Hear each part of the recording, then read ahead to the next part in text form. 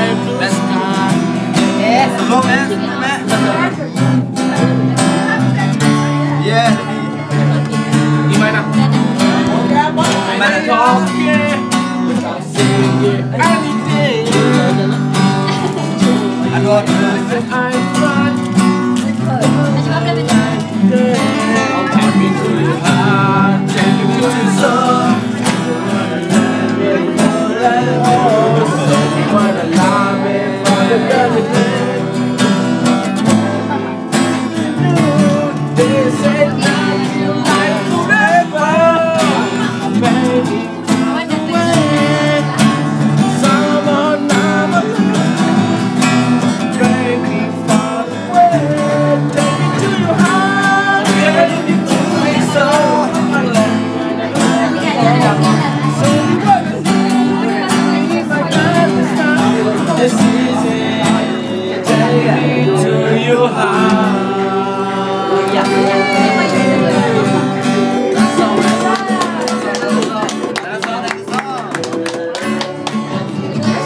Please, Mari.